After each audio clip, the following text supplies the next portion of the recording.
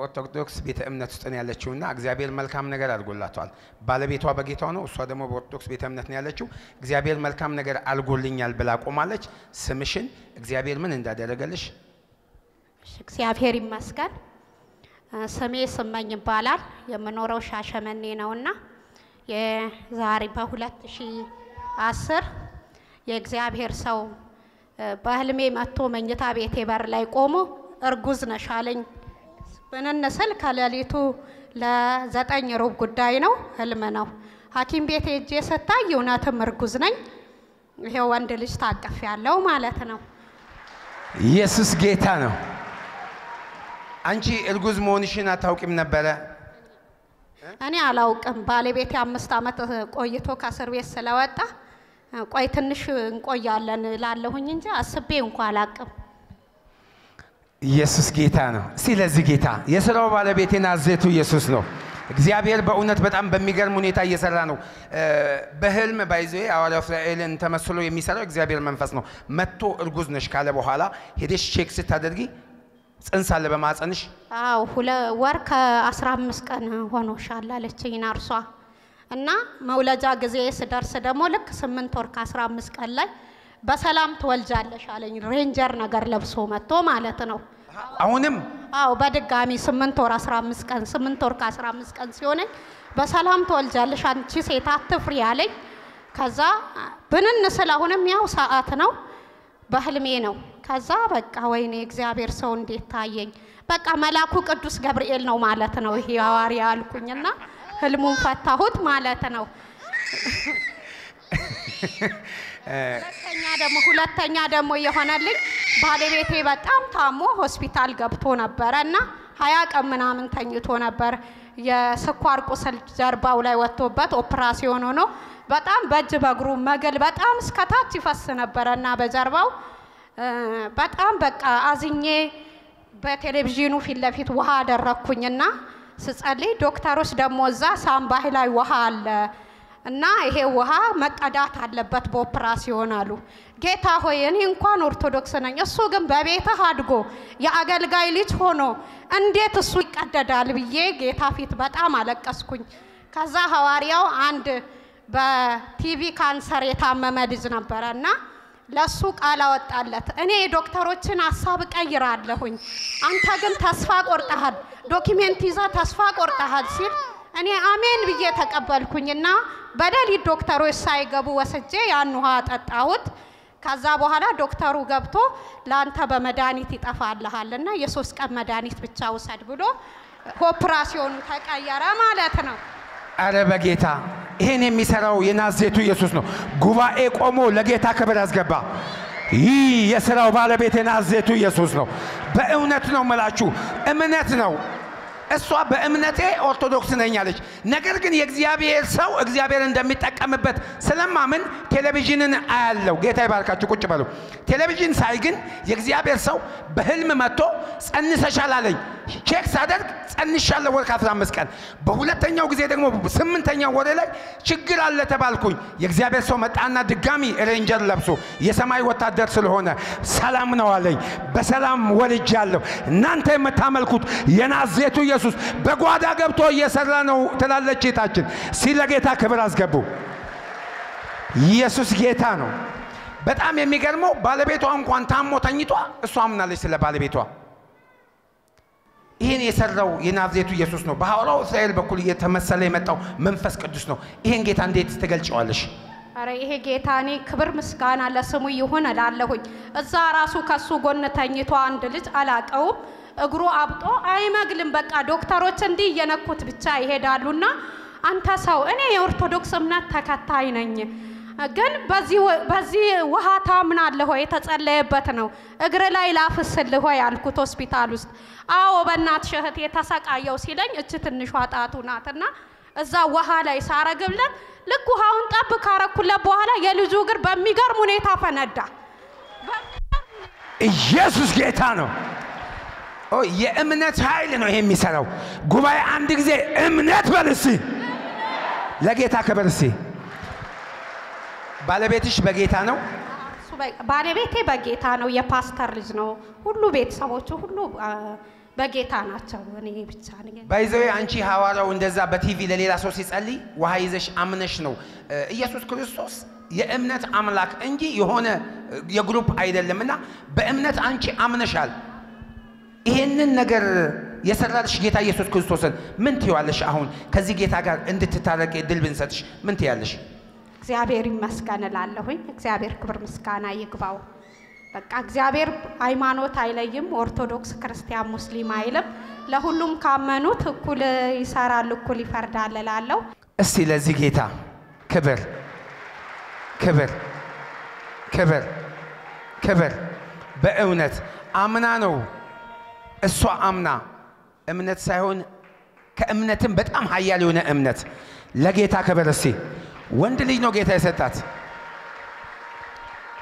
በህልም መጥቶ ነው የእግዚአብሔር ሰው ተናግሮ ይሄንን ወንድ የሰጠው። ስሙን ማን አልሽ? ኤልሻዳይ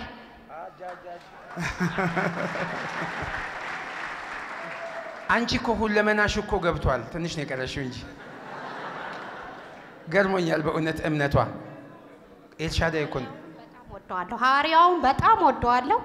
በጣም በሱ እምነት እንትን እላለሁ። እኔ ለእሱን ልወደው የቻልኩት በ2009 ላይ መጥቼ እንደዚህ ውሃ ከፍ አድርገን ቃል ስናወጣ ውሃ ጠጣሁኝና በጣም መጥፎ ጨጓራ አታመም ነበረ። በቃ አፌ ውስጥ ጸጉር እንዳለ ነገር እየመሰለ ጸጉር አፌ ውስጥ አለ ወይ እያልኩ ሲያስመልሰኝ ሳስመልሰኝ አሁን ከዛ አሁን እንጨት በላለሁ አይደለም ምግብ ሌላ ምግብ ማለት ነው። ጨጓራ የሚባል ነፃ ነው። አንቺ ኦርቶዶክስ ነሽ። ይህን Jesus Wonderful Channel የሚያዩ በተለያየ ቤተ እምነት ውስጥ ሰዎች አሉ። ኢየሱስ ደግሞ ሃይማኖት አይደለም፣ ላመኑት ለሁሉም ይሰራል። አንቺ እንዴት ነው ማለት እግዚአብሔር ቤትሽ ቁጭ ብለሽ በቲቪ በኩል እንደሰራ ቴሌቪዥን መስኮት ለሚያዩ ምን መልእክት ታስተላልፊያለሽ? ያው እግዚአብሔር እምነትን አይለይም። እግዚአብሔር ላመኑት ቅርብ ነው። ኦርቶዶክስ አይልም፣ ሙስሊም አይልም፣ ፕሮቴስታንት አይልም እና እግዚአብሔር ድንቅ አምላክ ነው። ስለዚህ እመኑ፣ ሃይማኖት አይጠይቅም። በቃ ኢየሱስ ክርስቶስ ጌታ ነው። ለእኛ ሲል ነው በቀራንዮ መስቀል ላይ የተሰቀለውና ኑና ተፈወሱ። እኔ ተፈውሻለሁ። ሃይማኖት አልተጠየቅኩኝም። ክርሽን በጥሻ አልተባልኩኝም። ስላመንኩ ብቻ ድኛለሁና እምነት የሌላችሁ ሰዎች እባካችሁ ፕሮቴስታንት እንዲህ ነው፣ ውሸታም ነው፣ ሐሰተኛ ነቢይ ነው አትበሉ። ኑና እንደኔ ዳኑ እላለሁ። እኔ ተጠቅም ያለው እያልሽ ነው። አዎ እኔ ተጠቅም ያለው ኑና ተጠቀሙ እላለሁ። እግዚአብሔር ስሙ ለዘላለም የተመሰገነ ለጌታ ክብር እስቲ እና ቤት ይስጠኝ እግዚአብሔር። ቤት የለኝም፣ ስራ የለኝም። እግዚአብሔር ሁሉን ያህል በቃ ቃል አውጣልኝ እዚህ ላይ እግዚአብሔር ሰው አሜን ነው። በጣም እድለኛ ነኝ። አንተም በማግኘቴ ራሱ ዛሬ በጣም እድለኛ ነኝ። ዛሬ እንደተወለድኩ ነው የምቆጥረው። ሰው ቤት እያለች ነው። እናንተ አትፈልጉም? ቤት የሚፈልግ ሰው ካለ ከፈለግሽ ነው ወይ አዋሳ ወይ አዲስ አበባ ላይ ቤት ልስጣቸው። እሱ አሁን የምትለው ሰምታችኋል። ስራ የለኝም፣ ባሌ በሽተኛ ነው፣ ግን ቤት እያለች ነው። ከየት ይመጣል?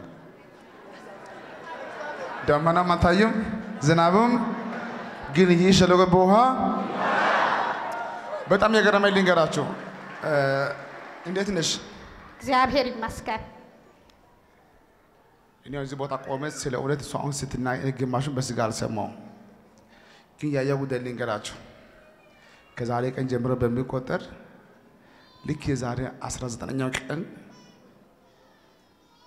ባሏ ሞቶ ማለት ነው ከሐኪም ቤት ሬሳው ሲወጣ አየሁ። እዚህ ቆመ።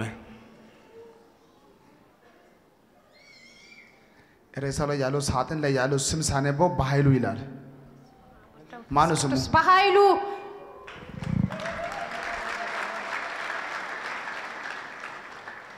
እስቲ አሜን። ቀኑ አልደረሰም እኮ ጊዜው አልደረሰም። ዛሬ ይሄን ቃል ይሄ- ዛሬ ይሄንን መጥፎ አዋጅ መጥፎ ያለቀለት ይሄ ዜና ዛሬ እናፈርሰው። እጅግ ከፍ አድርግ። የት ነው እሱ ያለው? አሁን ሞያሌ ነው ያለው። ለስራ ሄዷል። ለስራ ሄዶ ማለት ነው። አዎ የገረመኝ ልንገራቸው። የቀረው 19 እሱ እዚህ መቶ ያውቃል እዚህ ቸርች ሁሌ ይመጣል፣ አይቀርም። በሳምንትም እዚህ ነበር። የሚገርም ነው። 19 ቀን ነው የቀረው። በጌታ በኢየሱስ ስም በእሱ ላይ የመጣ የሞት አዋጅ አሁን ይገልበጥ። አሜን እስቲ ጉባኤ በጌታ በኢየሱስ ጌታ በኢየሱስ ስም በኃይሉ ላይ የመጣ የሞት መንፈስ የሞት መንፈስ ይመታ ይመታ። በጌታ በኢየሱስ ስም። ቆጥረሽ ልክ 19 ቀን እንዳለቀ ይዘሽ ነው እዚህ። እሺ ጌታ መልካም ነው። አሜን አይዞሽ፣ እንኳን አንቺ መጣሽ። ታሪክሽ ይቀየር። አሜን ልጅሽ በክብር ይደግ። አሜን ደስተኛ ልጅ ወልደሻል። እግዚአብሔር ለአንቺ ቤትም ያልሻለ እንደ ጨማ ልጅ ነው። በጌታ በኢየሱስ ስም ያው ዛሬ ቀብቻለሁ እና አንቺ አሁን ወስነሻል። በጌታ መሆን አትፈልግ ትፈልጊያለሽ። አሁን ወስነሻል።